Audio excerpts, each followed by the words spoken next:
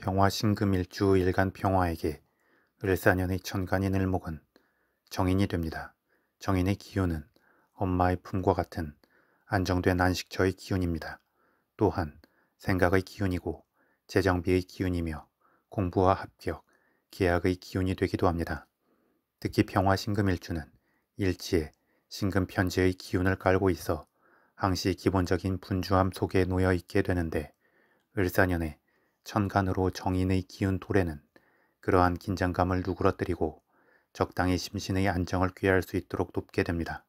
다만 분주함 뒤에 따라오는 안정과 휴식의 기운은 때로는 과한 안주의 형태로 나타나서 어떤 일을 추진해감에 있어 침체되는 느낌을 줄 수 있습니다.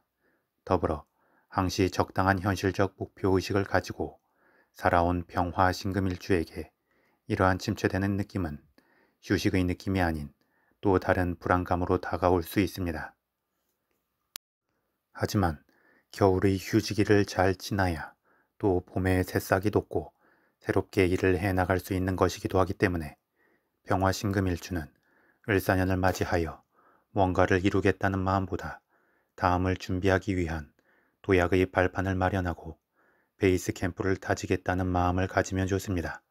따라서 공부를 하는 것도 좋고 자신의 안정된 거주지를 확보하는 것도 좋으며 자격증이나 학위 과정에 들어가는 것도 좋습니다. 그렇게 자신의 기운을 내뿜기보다는 새로운 외부의 기운을 잘 흡수하고 에너지를 보충한다는 마음을 갖는다면 다음 도약의 흐름에서 또 새로운 능력을 발휘하게 될 것입니다. 다음 평화 신금 일주 일간 평화에게 을사년의 지지인 사화는 비견이 됩니다. 비견은 일간과 음양과 오행의 기운이 같은 기운이 됩니다.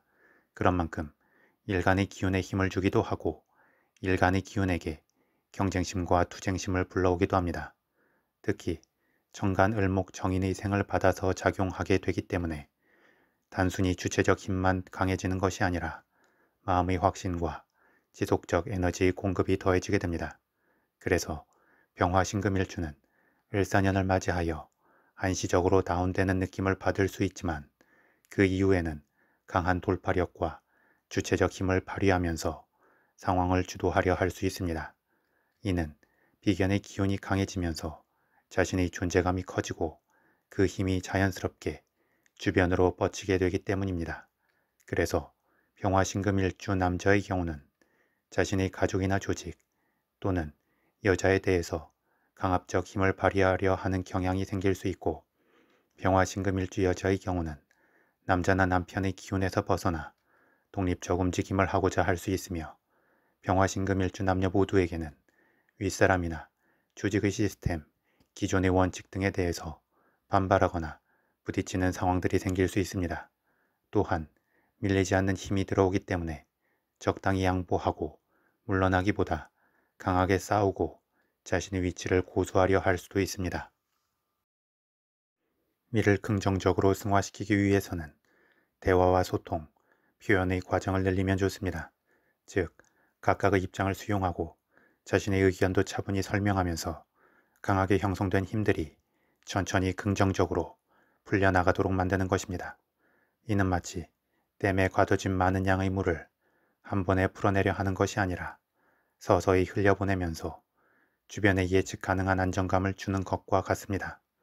물론 마음의 주체성과 힘이 강해지기 때문에 빨리빨리 상황을 돌파하기 위한 성급함이 생길 수 있지만 이러한 부분에 있어 최대한 본인을 자제하려는 마음가짐은 필요합니다. 다음 병화신금 일주 일지인 신금과 을사년의 지지인 사화는 지지합을 이루어 수기운으로 변화하게 됩니다. 수기운은 일간 평화에게 관성의 기운이 되어 승진과 자리 이동, 명예의 기운이 되기도 하지만 책임과 스트레스 또는 각종 관제수가 들어올 수 있는 기운이기도 합니다. 그런데 다행히 을사년에 천간으로 을목정인의 기운이 함께 오기 때문에 충분히 완충해낼 수 있는 가능성이 있습니다.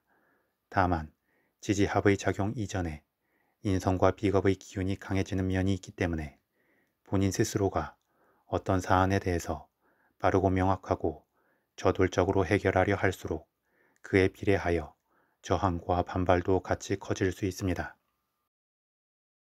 따라서 비겁의 기운이 커지는 중에 지지합으로 관성의 기운이 생길 때에는 본인이 앞서 움직이기보다 적당히 수동적이 되는 편이 좋습니다. 즉, 자신이 먼저 말을 하는 것이 아니라 상대방이 하는 말에 따라 반응하는 것입니다.